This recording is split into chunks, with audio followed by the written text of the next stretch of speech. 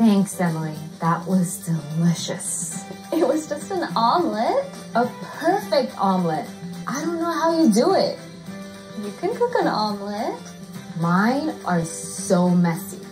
Every time you make them, they're perfect. Thanks.